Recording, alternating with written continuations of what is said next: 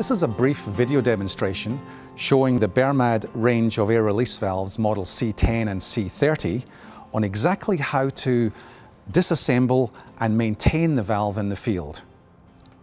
For the purpose of the demonstration, we have a pipeline here with water pressure inside the pipe, and the pressure is isolated from the air valve with the butterfly valve here. So the following process is exactly how we suggest that you clean and maintain the air release valve. The first thing that we do is that we isolate the valve from the pipeline itself by closing the butterfly valve, and this uh, isolates the pressure from the valve itself. The next thing we have to do is to release the water pressure from the valve so we can safely take it apart. If the valve is fitted with a drain valve, we simply insert a flathead screwdriver into the screwdriver slot, turn it slowly anti-clockwise, until we see water starting to drain out through the valve. And this is now depressurizing the valve. Now, if your product doesn't have this optional drain valve, you may have a quarter inch plug fitted into the body in here. So to depressurize, you use a 916 spanner and simply apply the spanner and turn it anti-clockwise. Now, very importantly, when you're taking any plug out of a pressurized valve, make sure you're standing on the opposite side to the plug and undo it very slowly and wriggle it to release the pressure and then safely take it out and just make sure that it doesn't spray onto yourself or impart on you. So once the water is now drained out through the valve like we can see here, we can safely remove the cover from the valve. So by unscrewing the cover slowly, and just do this carefully in case there's a little bit of water pressure here. We're going to remove the cover anti-clockwise. And here we have the, uh, the, the, cover taken off the valve. So the first thing we're looking for inside the valve is to make sure there's no poly shavings or debris sitting up against the valve itself. Then we simply remove the float assembly now with the float assembly, there's two seals inside the valve. There's the kinetic seal on the top here, so we just want to make sure there's no debris sitting around the top. Then with your fingers, just carefully take the pins off the side of the float, and this exposes the inner automatic orifice. And this is the small slot that we can see inside the valve in here. And what we want to make sure is that there's no debris sitting up against there, and there's no debris sitting on the peel seal. Once that's clear and all back together, we can simply put the float back together with the pins going back into the float. The valve is in this position here now. We reassemble the float back into the valve body and it doesn't matter what position that it's in.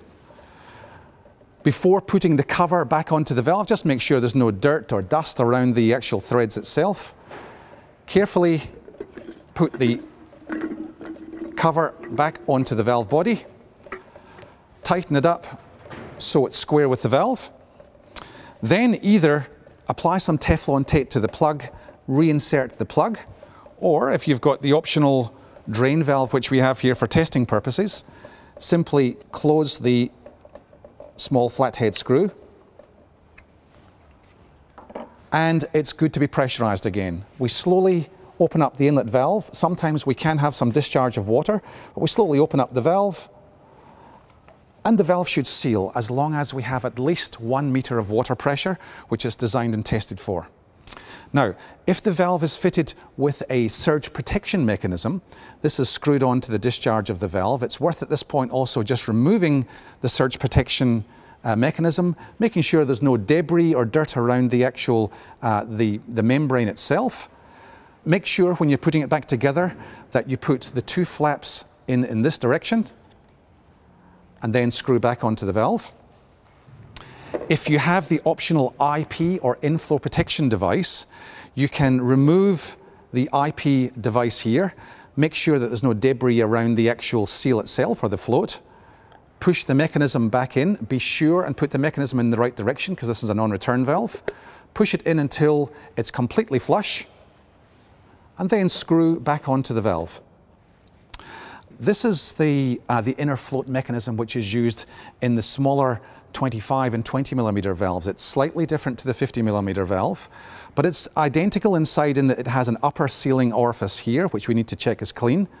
And we don't have to remove the pins.